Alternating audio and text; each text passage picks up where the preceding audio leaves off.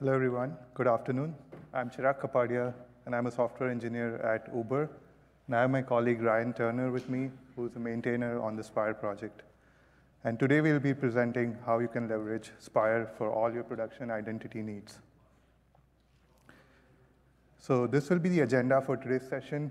Uh, we'll start with an overview of SPIFFE at Spire, then talk about Spire architecture, plugins, and X509 certificates. We'll then cover a use case for mutual TLS encrypted MySQL connections using Spire along with a demo. So let's get started. So what's SPIFFE? It stands for Secure Production Identity Framework for Everyone, which is a set of standards for securely issuing identity to workloads. It consists of three main components. Uh, first is the SPIFFE ID, which is a URI string that uniquely represents the name or ID of a workload. And a workload here could be any, anything, like a web server, a database, a microservice, or any single piece of software. The SPIFFE ID URI uh, format is SPIFFE colon double forward slash followed by the trust domain and path.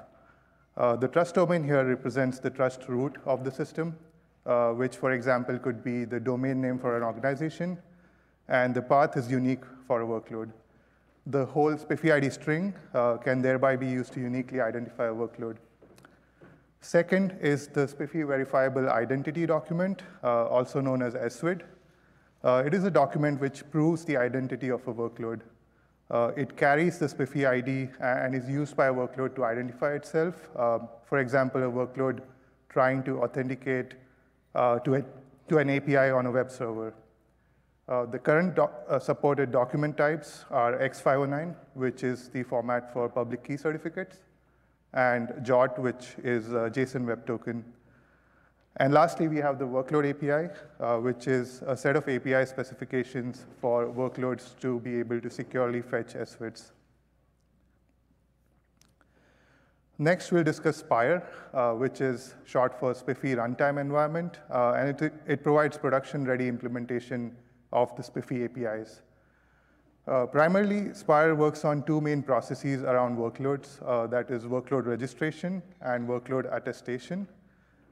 Registration is a way to tell Spire how to identify a workload, uh, and Spire uses that when it's trying to attest a workload. Uh, attestation is a way for Spire to figure out details regarding who the process requesting an SVID is, and uses those details to find the corresponding registration information in order to issue an SVID.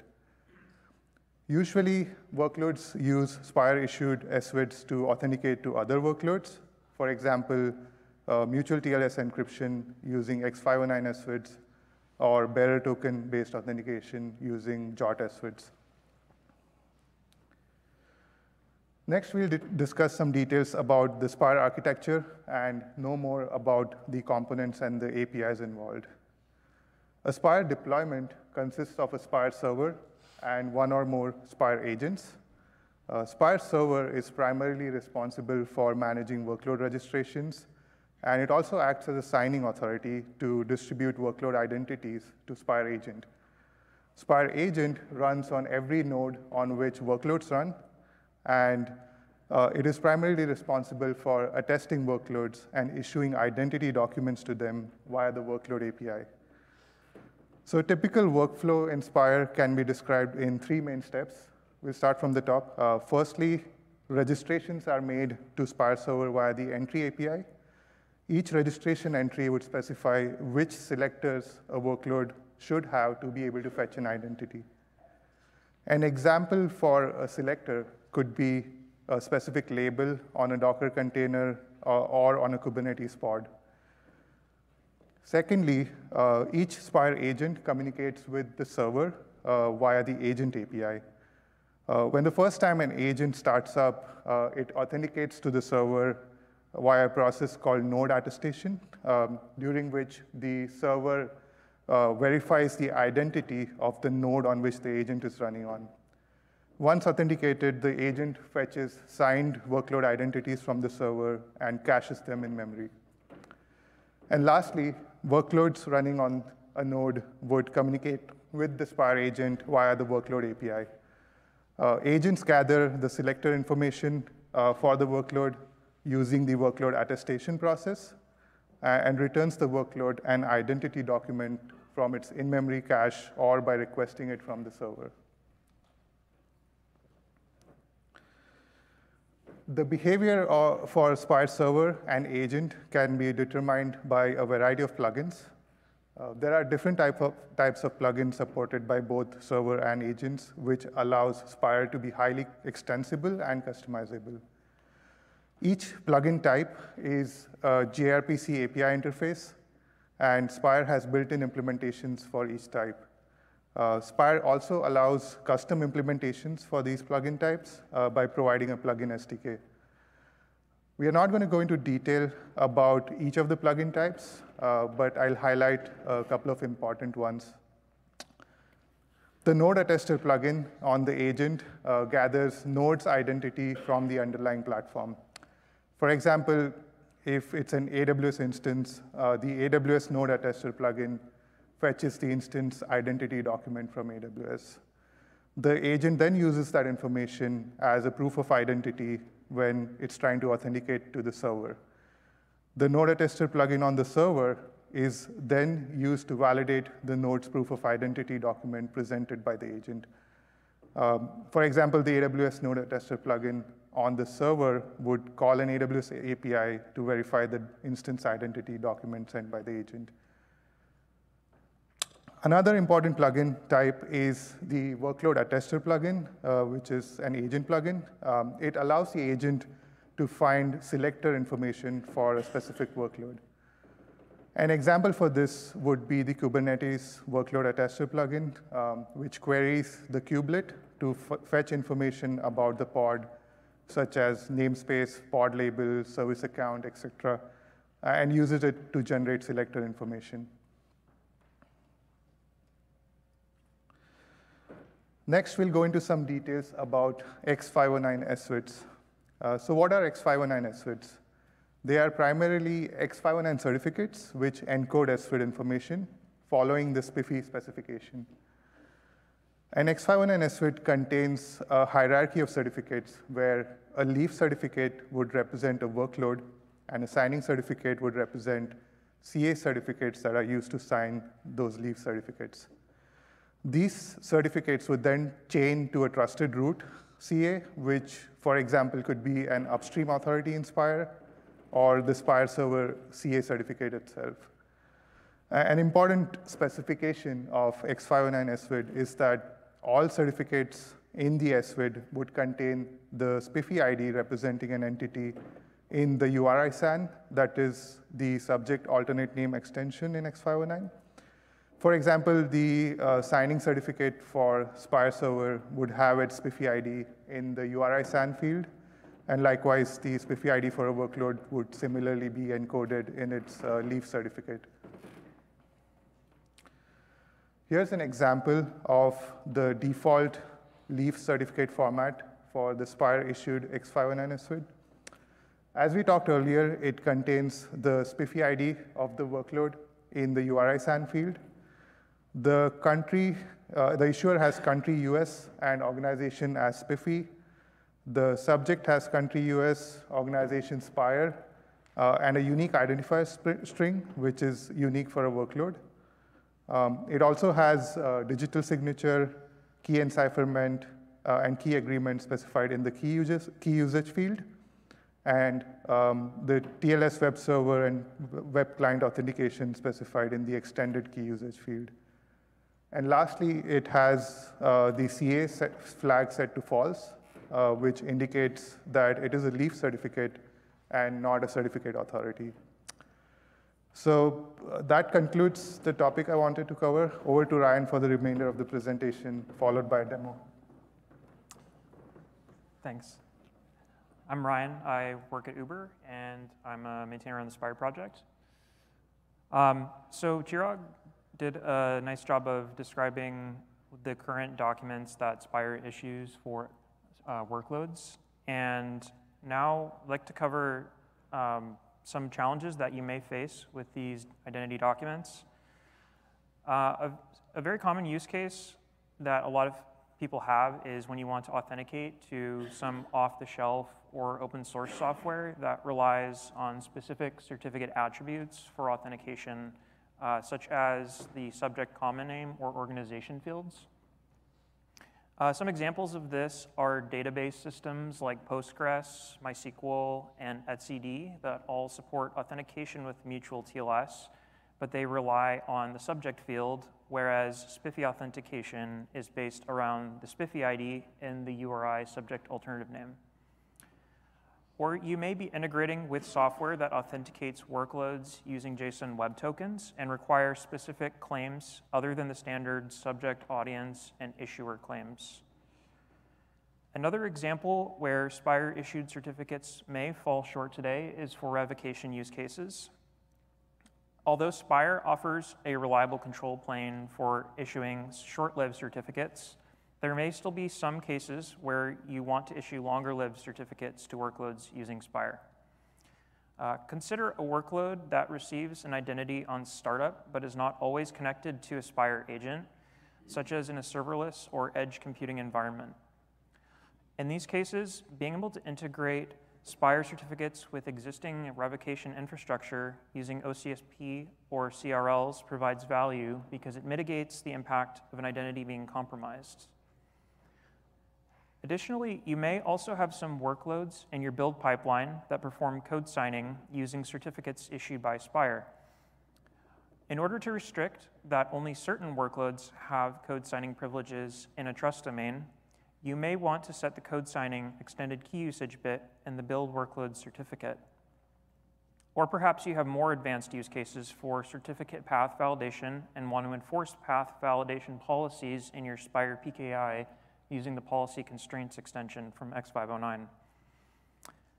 So the overall question is how can we solve these kinds of problems related to identity and authentication without having to build separate certificate infrastructure? Well, to fill this gap in the project, Spire now provides a Credential Composer plugin interface where you can write custom code that influences some of the fields included in SVIDs signed by Spire server. All the X509 SVIDs and JSON Web Token SVIDs issued by Spire Server can be customized using this plugin interface. For X509 SVIDs, the Credential Composer plugin interface specifically allows you to customize the subject, DNS subject alternative names, and any other X509 v3 extension except for the URI subject alternative name, which always needs to contain the workload SPIFFE ID according to the SPIFFE specification. And for JWT SVIDs, you can set any claim value in the JWT apart from the subject, which also needs to bear the SPIFFE ID of the workload based on the SPIFFE specification. Now let's see how the Credential Composer plugin fits into the overall Spire architecture by looking at a flow where Spire agent requests a workload SVID to be signed by the Spire server. Credential Composer plugins are external server plugins, meaning they run as a separate process co-located with the Spire server. They implement the Credential Composer gRPC protobuf interface defined in Spire's plugin SDK and host the plugin APIs over a local Unix domain socket accessed by the Spire server. Spire server can be configured with multiple credential composer plugins, allowing you the flexibility to chain multiple plugins together and decompose your customizations into discrete plugin implementations. When a Spire agent requests an SVID from Spire server, before the server signs the SVID, it will send a gRPC request to any configured credential composer plugins with the SPIFFE ID for the SVID and the set of other attributes it plans to include in the SVID. Using this information and potentially relying on plugin configuration or external data sources, the Credential Composer plugin decides whether to change the set of SVID attributes that the server will sign. It then returns the final SVID attribute set to the server to be signed, and the server completes the signing operation and returns the SVID to the Spire agent. Now I'd like to show a demo of a real use case of how we can use Spire along with a Credential Composer plugin to provide certificates to a MySQL database and a stateless service that accesses this database, and use those certificates to set up a mutual TLS connection between the service and the MySQL database. There are two initial problems that we need to solve. One is that MySQL doesn't know how to authenticate the SPIFFE identities issued by Spire by default. MySQL authenticates mutual TLS callers based on the subject common name field of the client certificate, but Spire doesn't set this field by default. The second problem is that MySQL doesn't know how to talk to Spire agent to fetch an identity. I'll walk through how we can solve both of these problems with the Credential Composer plugin and an init container. First, to set up the environment, we register the service in the MySQL database in the Spire server. Next, Spire agent syncs the entries for the service and the MySQL database from the Spire server and requests X509 SVIDs for them.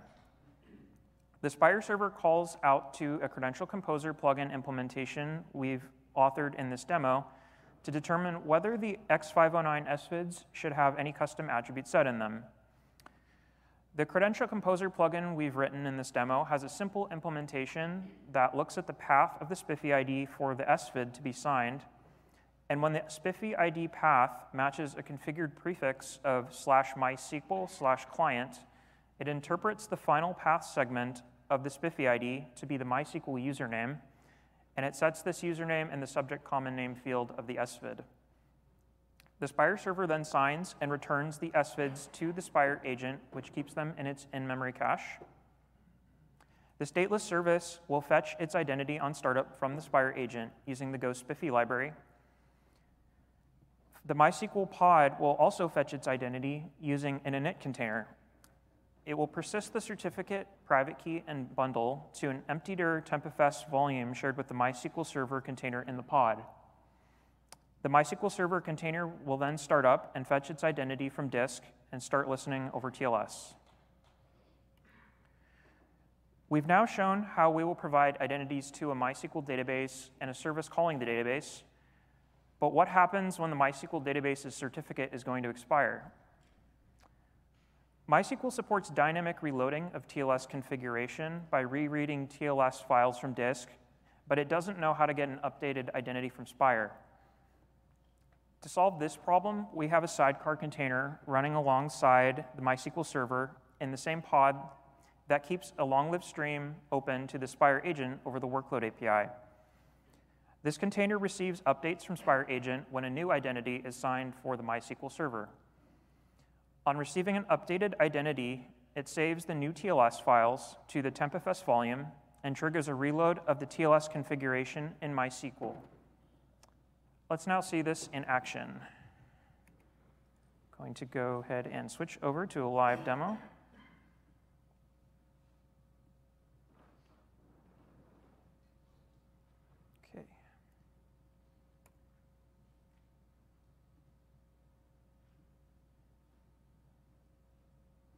Okay, so I've gone ahead and pre-built a Kubernetes cluster with all of the components shown in the slide. So let's take a look at the current state of the environment. So first, we can see that we have a Spire deployment here with a Spire server, and we have a three-node cluster that we're using today, which each node in that cluster has a Spire agent running. Next, we can take a look at all of the registration entries that we've created into the Spire server. So we can see that there are four entries. The first entry corresponds to the stateless service. You'll see that the SPIFFE ID has a path prefix of slash MySQL slash client, which is the path prefix that our Credential Composer plugin will be looking for in order to determine whether or not the SVID should be treated as a MySQL client certificate. We also have two identities registered for the MySQL pod. One identity corresponds to the MySQL server, and we also have an identity for the sidecar TLS reloader container. You may notice that the TLS reloader con container SPIFFE ID also has a prefix of MySQL client. We need this because we are going to enable TLS to be required for all connections to MySQL, so the TLS reloader itself needs to be a user registered in MySQL and use its own client certificate to authenticate to MySQL. Finally, we have a node alias registration that associates all of these workload registrations to our Spire agents. Next, I'll show that we have a MySQL container running in this MySQL zero pod. If I describe this pod, we can see that it is it has three containers set. So there was an init container called TLS Bootstrap, which we talked about, which fetched the initial credentials from Spire server and persisted them to the tmpfs volume in the pod.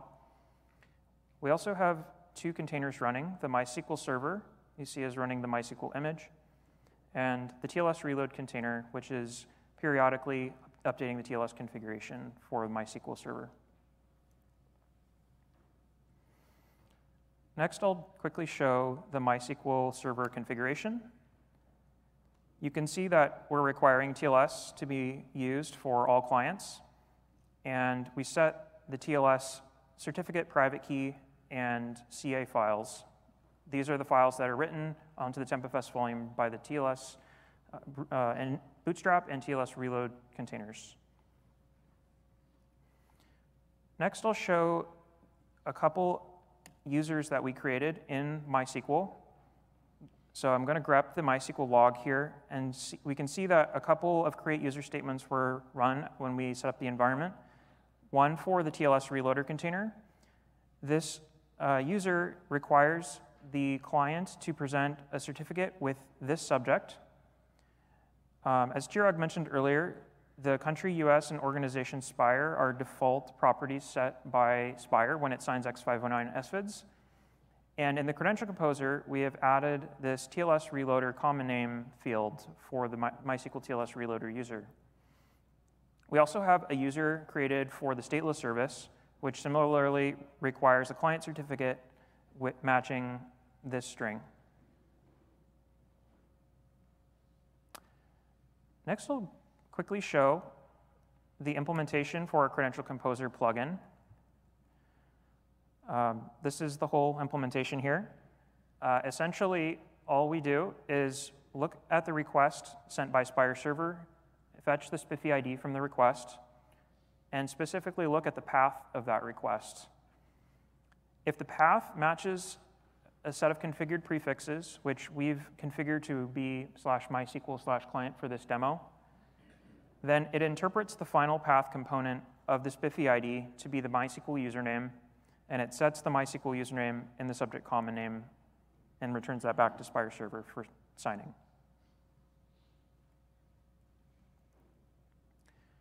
So now let's take a look at how MySQL was bootstrapped using the TLS files that were obtained by the init container.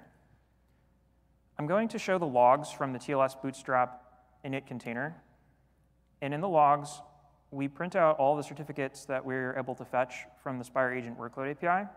So you can see that the MySQL Server identity was fetched, as well as the TLS reloader identity also assigned to the same pod. And we also have the trust bundle for this Spire trust domain of example.org that we're using in this demo. And we don't log the private key, obviously for security reasons, um, but we do log here that all these files were successfully written to disk. So that's how MySQL gets its initial identity. Now I'll show that we have one pod running in the default namespace, which is our stateless service that is going to exercise this MySQL database using mutual TLS. So this service implements two REST APIs, a GET API on an endpoint called API v1 users, which just prints out the contents of a table that we've created in MySQL called users, which is very simple. I'll show what that looks like here. So you can see that we've preloaded three users into the database. We have a user named Alice, Bob, and another user named Carol. We also have a post API on this service, which allows us to create a user. I'm going to now create a user named David,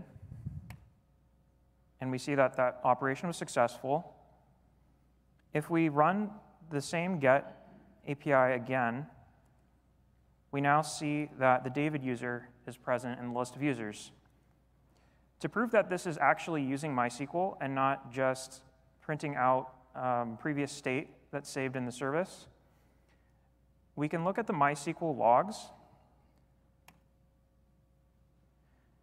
So earlier I showed the users that we created in MySQL, one of which was this Spire MySQL client, which is corresponding to the SPIFFE ID uh, of the stateless service that we registered in Spire. You'll see that it connected to this database using TLS, and it issued a few queries uh, corresponding to the API calls that we just issued to the service with curl. Uh, select star from users, and then insert, and then another select star. So that shows that the service is actually successfully connecting to the database over mutual TLS. Also show the rotation so in MySQL, we have the TLS reload sidecar container. If we print the logs, we can see that these certificates that were also fetched by the TLS bootstrap container are also uh, fetched from the TLS reload container and updated over time as Spire agent pushes new certificates. So let's print out the values of these certificates so we can actually read them. I'm just going to paste in a short function that makes it more convenient to dump these into SSL, OpenSSL. Um, so first, let's look at the MySQL Server certificate.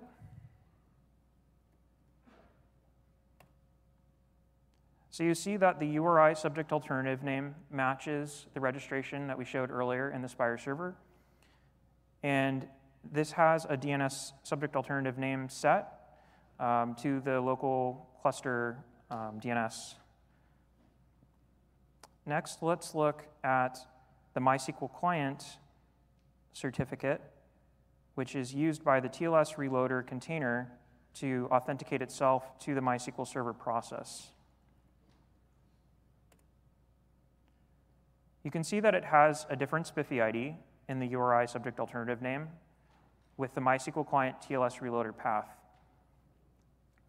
You can also see that the subject common name was set in the certificate to be this TLS reloader user, which we created in MySQL.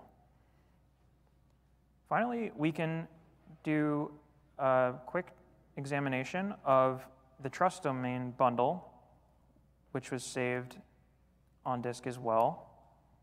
You can see that the subject alternative name contains the trust domain. We can also uh, visually verify that the subject key identifier of this CA matches the authority key identifier of the other certificates um, for the MySQL Server and TLS Reloader. So you can see this subject key identifier is prefixed with 5F F0, and here we also have the authority key identifier with the same prefix, and also here. So we can see that this is the actual CA. Um, you would still want to verify the signature, but at least uh, for demo purposes, this kind of shows um, it's a real CA. And it has the CA bit to true. And then lastly, we can look at the logs for the stateless service to show that it is also getting updated identities. So I will go ahead and print out its certificate. And you can see that it has the Spire MySQL client identity with the Spire MySQL client username set in the subject common name. Note that in this demo, we've also created these identities with very, very short time to live. Uh, they have like two minute validity period, so they've been rotating in the background since we've started this demo. Um, so this shows like this is working stably over time and not just uh, once. So uh, that concludes our demo. And with that, um, we have some links to the source code if you're interested in more of the details. Um, feel free to peruse that and open any issues or pull requests. Um, we've also added some links to the Credential Composer plugin interface if you're interested in creating your own implementation for uh, your Spire deployment. And there's more context about this plugin on the GitHub issue linked here if you're interested in seeing more about the discussion of uh, this component. And then, uh, as always, we're available on SPIFFE Slack. Um, it's a very active community, so feel free to participate. Um, a lot of people ask questions, and there's a lot of great support there as well if you have questions. And, and then here's our GitHub link as well. So um, that's all. Thank you for your time.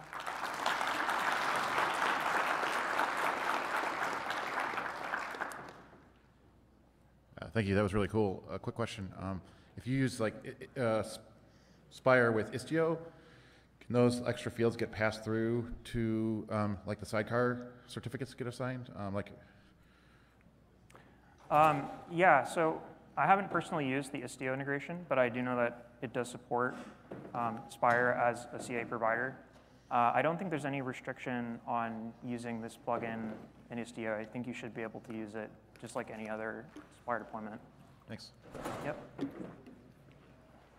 Thank you for the demo. Looks really cool. Couple questions. Um, first of all, for the internal CA, do you have support for signing certificate rotation? Signing certificate rotation? Yeah. Yes. Uh, so the signing certificate is automatically rotated by Spire. Um, so there's a plugin that um, we didn't really talk about in this uh, presentation, but it's called the Upstream Authority plugin. Um, you can allow, you can use that plugin to chain your Spire PKI to an upstream CA as well. Um, so it's an interface just like uh, the interface we showed with the Credential Composer. So you can write your own plugin or use one of the existing plugins. Um, we, we support, I think, HashiCorp vaults. Um, you can write the CA file to disk. Uh, there's a few options that you have there. So yeah, Spire does that today. Cool. Yeah, good to know.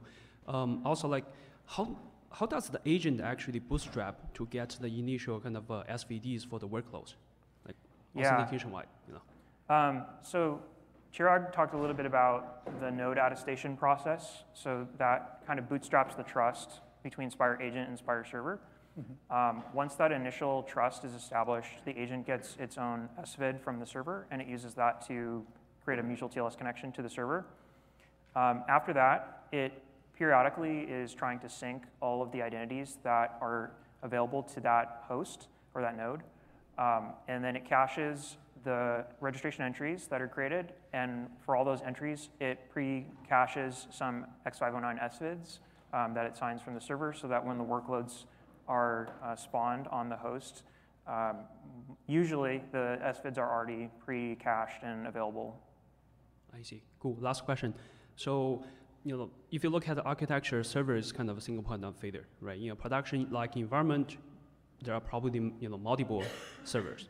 So how do you manage them and how do you keep them in sync? Yeah, so we support a high availability mode where you can run an active-active configuration. Um, so in a production deployment, you would definitely want to have multiple instances of the server. Uh, they all act as their own independent signing authorities with their own keys. Um, but they can all chain up to the same upstream authority, um, which goes back to your earlier question.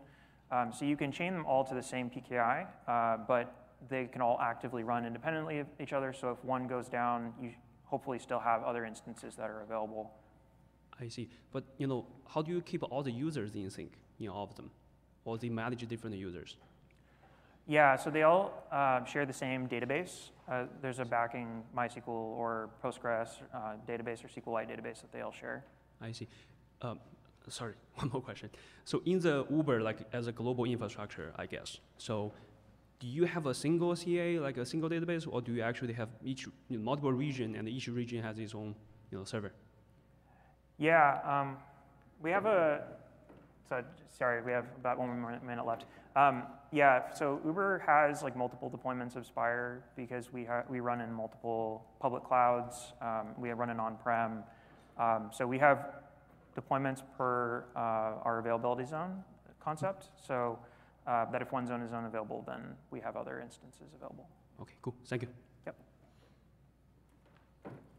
Uh, if we're using Spire to mint JWTs, how does the trust bundle get delivered to like we have an authentication header. We pass it to the client. Like, how do they validate the authentication bundle? Is that? Yeah. Um, so Spire Server has a bundle endpoint that it exposes uh, as an HTTP endpoint for um, use cases like this. Um, there's also a component called OIDC Discovery Provider provided by um, the Spire repo, and it publishes uh, out these keys in an OIDC compliant way as well. Hello, uh, I have a more uh, basic background question. So I guess yeah, when you chose uh, and Spire, I'm wondering what were the other alternatives you kind of considered? Like maybe you, someone could just use some pu- um, cloud, public cloud providers offerings, or maybe there could be some other alternatives. Um, so I'm just, yeah, want to want to learn more about other options you, you considered and why you cho- specifically chose uh, SPIFFE and Spire.